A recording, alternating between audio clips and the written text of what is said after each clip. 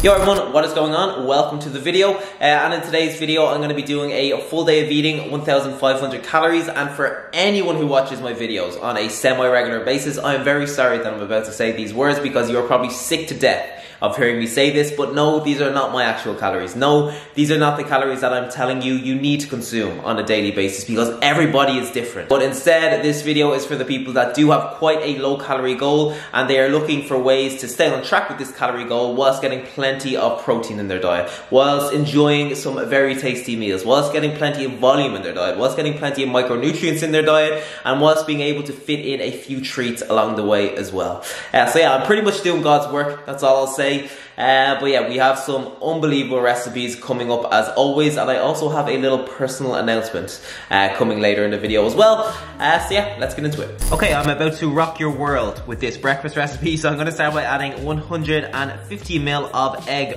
whites to a bowl. I get these from bulk. I'm gonna add in 25 grams of chopped up spinach leaves, one quarter of a chopped up motherfucking onion, and you probably know that you can get loads of different types of onions, brown onions, white onions, but try and get the uh, ones, they're the nicest. I'm gonna add in 50 grams of chopped tomatoes and 25 grams of 30% less fat cheese. Now let's give that a good mix. Then I'm gonna add 150 grams of turkey breast mince to another bowl. And I'm gonna season with some sea salt, some chili powder, some garlic, and a nice amount of smoked paprika. Now you wanna mix it all up with your hands. Don't be afraid to get in there. Then you wanna line six of these little muffin compartments with the turkey breast and just make sure that they fill the whole base by pressing the turkey down. And of course I forgot to spray this tray with some one calorie spray. Why do I always do that? But I'm gonna do it now anyway. But when you're doing it, just make sure that you spray before. And then as evenly as you can, you want to add your egg mix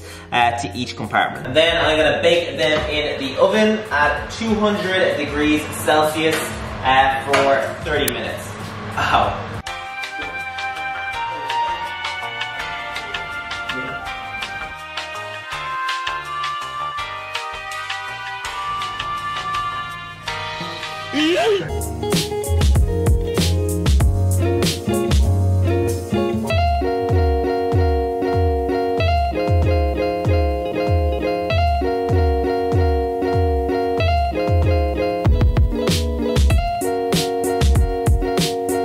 So do these fit into the game changer category? Do they have game changer status? I think so. Like I've seen plenty of egg and egg white muffins in my time, but when you add the turkey, it's a whole new dimension. And I think what is really impressive is when you break the calories and macro down per muffin. So per muffin, there is about 58 calories and almost 10 grams of protein in one of those. And yeah, I completely understand that they do take like 30 minutes to bake in the oven, so you wouldn't want to be doing this every morning, but something you could do, do you hear that? It's so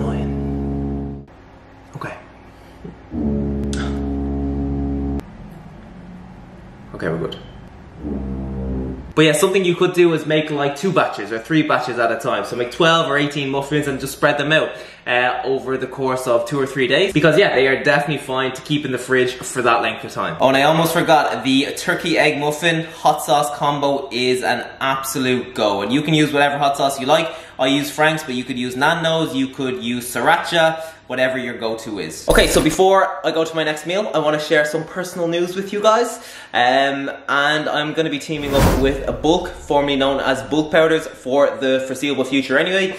Uh, and as you guys, I don't really like saying you guys, you guys, uh, but as you know, uh, I'm not really big on sponsorships or anything along those lines, like my online coaching, my nutrition hub, my YouTube channel, my shit. Like that is always uh, gonna be the biggest priority to me. Uh, but you know, I've always had a short list of companies that, you know, one day I would like to work with uh, because they just kind of line up with my values and what I'm all about. And Bulk has always been one of them. Uh, number one, because I've tried their products in the past. I really like their products. I like what they do. Uh, and number two, their range is absolutely ridiculous. Like, so big. So yeah, I'm excited to see where it goes. I hope you are pumped for me. If you are, make sure you comment below uh, and let me know. I already have a few favorite products and a few favorite flavors, uh, especially uh, but yeah, I don't want to overload you with information, so I will share all of that uh, in time. Uh, so yeah, let's go to my next meal. Okay, so for lunch I'm going to be having a pizza, and no, it's not going to be a low-calorie pizza wrap. I've been there, I've done that, I've made my fair share uh, of pizza wraps. I'll probably do it again at some stage, but this time, this one is a little bit different. I'm actually kind of thinking outside the box with this. The box is here, I'm over there.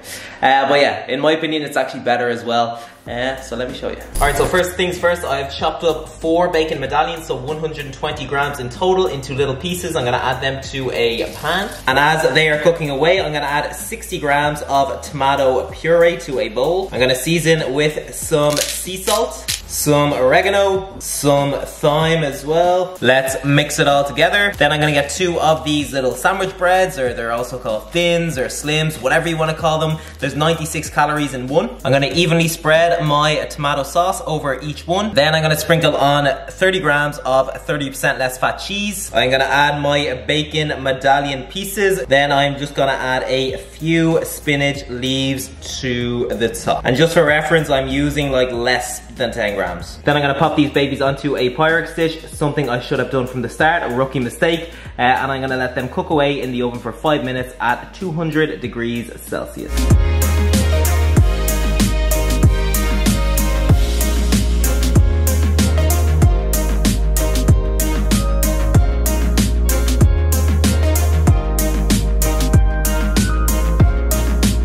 Okay, so let's talk pros and cons. And the one main con, one main drawback of this meal uh, is that it isn't that high in volume. So if you are quite hungry one day, there are probably better choices, higher volume choices, choices that maybe contain a lot more veg, so will fill you up a lot more. But yeah, apart from that, these little pizza bites, that's what I call them, pizza bites, they are unreal.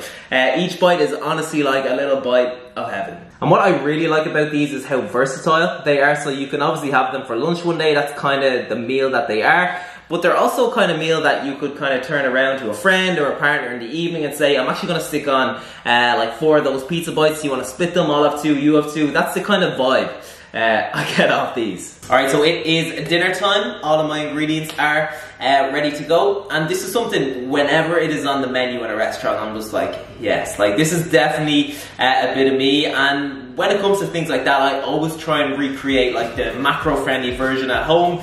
Uh, yeah, so let's see how we get on. All right, so first things first, I have four smoked bacon medallions here. Each one is 30 grams, and I'm going to roll them out just to make them a little a bit longer. Perfect. Then I'm gonna get four chicken breasts. Each one weighs about 150 grams. Spray everything with a bit of one calorie spray and coat with some sea salt and some smoked paprika. All right, now I'm gonna lay each of my medallions over each of my chicken breasts. Add each to a Pyrex dish that I sprayed with some one calorie spray. A little bit more smoked paprika for good measure. And myself and Bruno are gonna let them cook away in the oven at 200 degrees Celsius for about 30 minutes. All right, so let's get to work on the sauce and I'm gonna add 800 grams of chopped tomatoes to a pan. That is followed by 30 ml of Worcestershire sauce, about 15 ml of red wine vinegar, and some seasoning. So some sea salt, some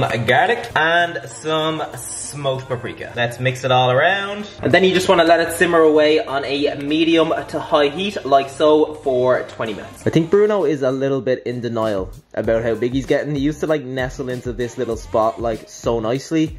Uh, but yeah, I think you're getting a little bit big, little man. Okay, we are looking good so far, and now I'm gonna pour my sauce over the chicken. I'm gonna add 80 grams of 30% less fat cheese to the top. And then I'm just gonna put this baby back in the oven for about 10 minutes uh, so the cheese melts.